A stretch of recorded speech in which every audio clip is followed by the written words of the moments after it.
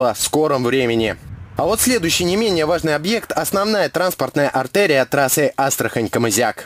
Мост через реку Табала был построен еще в 1964 году. Последний ремонт здесь производился 36 лет назад, в 1982.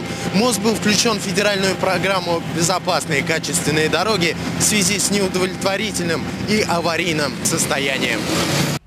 На ремонт выделили 40 миллионов рублей. Дорожники преобразили его до неузнаваемости. Новый асфальт, система водоотвода и укрепленные береговые опоры. В Рио губернатора Астраханской области Сергей Морозов остался доволен результатом и поблагодарил дорожников за сдачу объекта раньше срока. А работы на дороге Камызяк-Тузуклей начались буквально на днях. На нескольких отрезках уже приступили к укладке асфальта.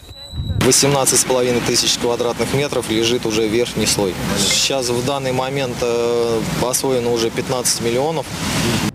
Дороги в регионе преображаются в рамках двух приоритетных проектов БКД и развития дорожного хозяйства. По сообщению регионального министерства строительства в 2018 году капитально отремонтируют 90 километров важных автомобильных трасс. Иван Порядков, Альбек Джаралгасов, Дмитрий Карасев. Вести. Астраханская область. Они контролируют исполнение судебных решений, защищая интересы граждан. Свой профессиональный праздник сегодня отмечают судебные приставы России.